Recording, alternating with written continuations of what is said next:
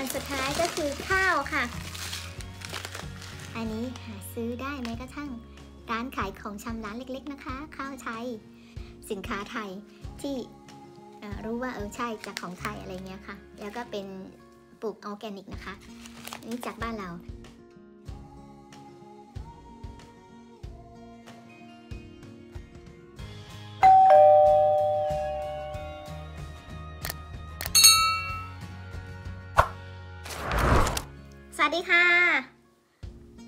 อยู่กับไทยชามสเตนมาร์กนะคะ วันนี้พามาเปิดถุงยาอีกแล้ว มาดูว่าถุงยาอาหารวันนี้ก็ได้มามื้อสองมื้อนะคะ ว่ามีอะไรบ้างนี่นี่นี่ถุงเบเริ่มเลย เรามาดูกันค่ะ ก็อ่า invoice จ่ายไป 311.40 ก็มีทั้งที่เป็นลดราคาและไม่ลดราคานะคะ แต่วันนี้ดูเหมือนว่า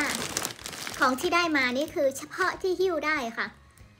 คุณแม่ต้องเข้าก็จะซื้อทุกวันนั่นแหละ แล้วก็ไม่ได้ไม่ได้รีวิวทุกรายการนะคะ ก็วันนี้หิ้วได้อะไรบ้าง ของผู้หญิงผู้หญิงค่ะนี้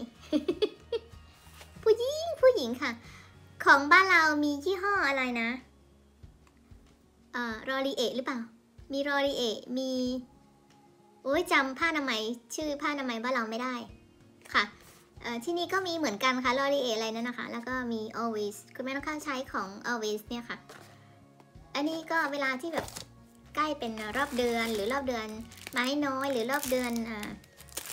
กำลังจะหมดอะไรอย่างเงี้ยค่ะ อันนี้ก็พริกค่ะพริก ซื้อมาสองแพ็คนะคะ เหมือนเดิมค่ะ เอามาทำน้ำพริกหนุ่มผัดหมูอะไรต่ออะไรเงี้ยนะคะ แล้วก็มีไส้กรอกแบบนี้ คือคนเดนมาร์กเขาจะกินไส้กรอกแบบนี้ด้วยค่ะ คุณแม่ต้องข้าวก็กินด้วยบางครั้งนะคะ นานๆกินค่ะ ก็คือทั้งบ้านน่ะก็กินบ้าง เราก็กินเหมือนคนทั่วไปนะคะ คือทั้งอาหารมีประโยชน์และไม่มีประโยชน์จังฟู้ดเราก็กิน กินทุกอย่างค่ะ เราก็ต้องให้อยู่ง่ายอะไรเนาะแล้วก็นี้สำหรับห่อกลางวันค่ะโอ้กับอ่าเป็นเหมือนซาลามี่เนื้อวัวค่ะ อันนี้ให้ลูก นี่ ดูเรียนภาษาเดนมาร์กจากป้ายค่ะ ox แปลว่าทำมาจากเนื้อวัวค่ะ ox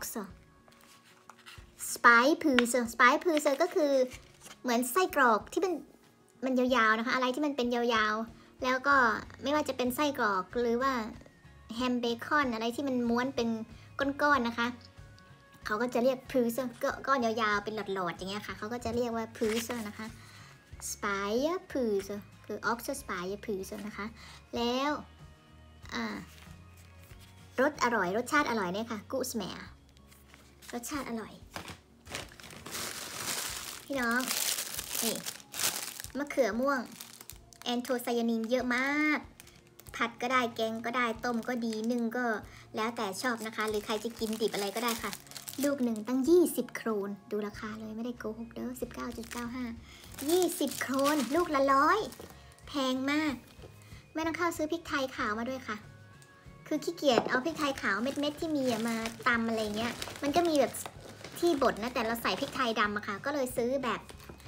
แบบที่เขาบดมาเรียบร้อย อันนี้ด้วยค่ะ เนี่ยใส่เครื่องแกงนะคะ แกงเผ็ดอะเป็นเครื่องเทศอะค่ะคุณแม่ต้องเข้าใช้อันนี้ด้วยมุสตาก็เอาใส่ในเครื่องแกงนะคะ เสร็จแล้วก็ได้เป็นผลไม้ คือร้าน ร้านขายของชำอะเนาะมีร้านเดียว เรียกขายของชำแล้วกัน มันข้อจำกัดมันก็มีน้อย เอ้ยข้อจำกัดคือเราเลือกอะไรไม่ได้หรอกค่ะเราก็ซื้ออะไรที่เขามีนี่เขามีผลไม้นะคะแปดลูกอะไรก็ได้ค่ะ รวมอะค่ะแปดลูกยี่สิบโครนคุณแม่น้องข้าวก็เลือกเนี่ยส้มสองลูกแอปเปิลสองลูก ลูกแพรสองลูกอะไรอย่างเงี้ยนะคะ ก็แปดลูกยี่สิบโครน เมื่อวันอาทิตย์นี่ก่อน คุณพ่อน้องข้าวเขาจะไปทำงานนะเขาก็ซื้อไป ค่ะยังไม่จบค่ะยังไม่จบ นี่คุณแม่น้องข้าวได้โอลิเวนนะคะมะกอกอันนี้ไม่ใช่มะกอกป่าบ้านเรามะกอกนี้เรียกเป็นมะกอกโอลิเวนค่ะ ก็มะกอกยัดไส้ชีสค่ะ จากประเทศกรีกนะคะ แล้วก็มีพริกหยวกค่ะพริกหยวกสองลูก สีแดงกับสีเหลือง สีสวยอยู่ด้วยกันนะคะ แดงกับเหลือง อ่าสองลูกเนี่ยเขาขายเท่าไหร่นะ15โครนค่ะ15โครนก็คือเจ็ดเจ็ดโครนครึ่ง แล้วคุณแม่น้องข้าวก็ซื้อไอ้นี่มาอีกกระต่ายค่ะเนื้อกระต่ายค่ะ hare เนี่ย har แปลว่ากระต่ายนะคะ อันนี้ก็เป็นอาหารเย็นให้กับคุณลูกนะคะ แล้วก็ได้น้ำมันค่ะ น้ำมัน raps มีโอเมก้า 6 นะคะ ก็เป็น ออร์แกนิกค่ะ น้ำมัน rapsผลิตที่ประเทศเดนมาร์กค่ะ ครึ่งกิโลค่ะ นี่ ขวดนี้ราคาเท่าไหร่น้ำมันรับส์เรามาดูกันว่า 40 ค่ะ 40 โครน4 5 20โครนละ200 นะคะ ครึ่งกิโล 200 แล้วมะเขือเทศค่ะ อันนี้ก็คือเอาไว้ทำเวลาที่เป็นสปาเกตตี้อะค่ะ ก็ใช้มะเขือเทศกระป๋อง บางครั้งก็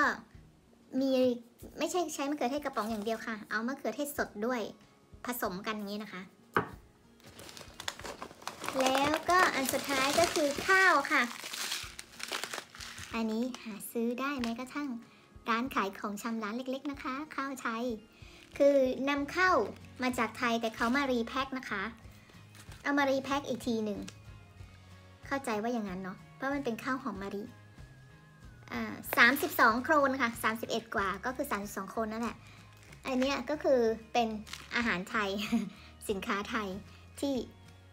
รู้ว่าเออใช่จากของไทยอะไรเงี้ยค่ะ แล้วก็เป็นปลูกออร์แกนิกนะคะอันนี้จากบ้านเรา เนื่องจากว่าข้าวสารหมดยังไม่ได้ไปร้านไทย ไปร้านไทยคราวที่แล้วไม่ได้ซื้อข้าวสารนะคะ ข้าวสารซื้อมา 18 กิโลนี่ก็อยู่ได้หลายเดือนนะคะ อดีหมดก็คุณพ่อน้องข้าวบอกว่าอาทิตย์หน้าเสาร์อาทิตย์หน้าจะพาไปร้านไทยอ๋ออันนี้สิ่งที่น่าภูมิใจนะคะ ตรงนี้ค่ะ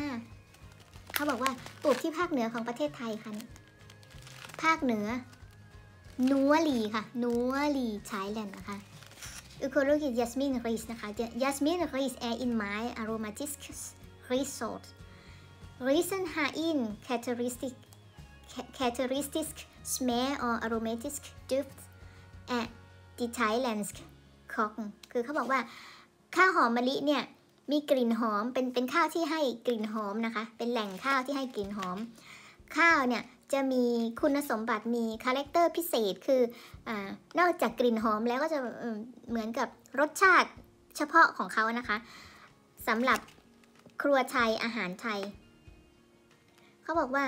No Jasmin Rice Brewer Cooks had in Beheli Duft Jasmin Blomster เวลาที่เราหุงข้าวเราจะได้กลิ่นอโรมาของข้าวเนี่ย มันเหมือนกับกลิ่นของมะลิ ดอกมะลิ นั่นแหละค่ะ duft จะกลิ่นกลิ่นของดอกมะลิ Jasmin Rice Dux Primer e d e d n u a l i Thailand ปลูกทางเหนือของประเทศไทยนะคะ All air Sadeles v e l i n u till Ratter med fisk kylling svinekur ค่ะเราก็เนาะข้าวไทยแล้วก็เป็นสิ่งที่เราภูมิใจมากคือหาซื้อได้แม้กระทั่งร้านโชห่วยร้านเล็ก ๆ ในหมู่บ้านเล็ก ๆ ก็มีข้าวไทยมาขายนะคะเขาบอกข้าวหอมมะลิเนี่ยก็หุงส่วนใหญ่ก็เป็นใช้กินกับปลาไก่แล้วก็เนื้อหมูผักต่างๆนะคะ เป็นอาหาร Oriental Oriental r a t t e r ก็คืออาหารเมนู Oriental อาหารเอเชียเอเชียติสอะไรประมาณนั้นนะคะ ก็น่าภูมิใจ ข้างหน้านี้เห็นภาพนี้เหมือนข้าวมันไก่ไหมคะหุงข้าวแล้วก็ใส่ขิงอะไรเงี้ยค่ะท่านี้แหละค่ะหมดไป 311 โครน สิ่งที่ราคาสูงก็คือข้าวในราคาที่ว่า 30 31 นะคะ แล้วก็น้ำมันเนี่ย 40 อย่างอื่นเนี่ยเขาก็มีลดราคาอะไรเงี้ยนะคะ อย่างผลไม้เขาก็ลดราคาจริงๆ ผลไม้เนี่ย24 โครนเขาก็ลดราคา 4 โครนนะคะ แล้วก็มะเขือไอเนี่ยกระป๋องเนี่ยค่ะ ปกติก็คือ 6.95ก็คือ 7 เขาก็ลดไป 2 ก็เหลือแค่ 5 โครนเองค่ะ เรียกว่ามีลดราคานะคะรวมๆแล้วไม่แน่ใจว่าเบ็ดเสร็จแล้วนะคะ จะถูกกว่าในเมืองไหม อาจจะต่างกันไม่เกิน 5 5 โครน เพราะว่าสิ่งที่ลดราคานั้นน่ะ คือน่าจะเป็นราคาที่ต่างกันนะคะ อย่างอื่นก็อาจจะพอๆกัน มันแพงอีนะมะเขือต้องลูกละ20 โครนนะคะ ค่ะ อันนี้ก็เป็นของกินของใช้หนึ่งมือสองมือนะคะ ขอบคุณที่ติดตามรับชมค่ะ พบกันใหม่คลิปหน้าค่ะ เราก็มารีวิวกันนี้นะคะ อะไรที่แตกต่างก็จะได้รู้ได้เห็นว่าวิถีชีวิตของคนไทย ในประเทศเดนมาร์กที่อยู่ในเมือง ที่อยู่ชนบทที่อยู่บ้านฟาร์ม บ้านฟาร์มที่แบบอยู่ไกลในเมืองอะไรอย่างเงี้ยแล้วก็จะมีร้านเล็กๆยังข้อจำกัดเนี่ยค่ะซื้อได้ใกล้ๆบ้านเนี่ยอะไรบ้างนะคะ ก็เป็นวิถีชีวิตของคนไทยวิถีชีวิตของมาดามบ้านๆค่ะ ขอบคุณนะคะที่ติดตามรับชมขอให้ ทุกๆ คนเพื่อนเก่าเพื่อนใหม่ เพื่อนใหม่อย่าลืมนะคะ ทักทายไว้ค่ะ แล้วก็กดกระดิ่งค่ะติดตามไว้ค่ะ คุณแม่ต้องเข้าไปหานะคะ ช้านิดนึงก็ไปแน่นอนค่ะยังไงก็ไปค่ะ เพื่อนเก่าก็อย่าลืมเขียนไว้เหมือนกันค่ะ จะได้รู้ว่ามาเยี่ยมกันนะคะ คุณแม่น้องข้าวขอขอบคุณค่ะ พบกันใหม่คลิปหน้าสวัสดีค่ะบ๊ายบาย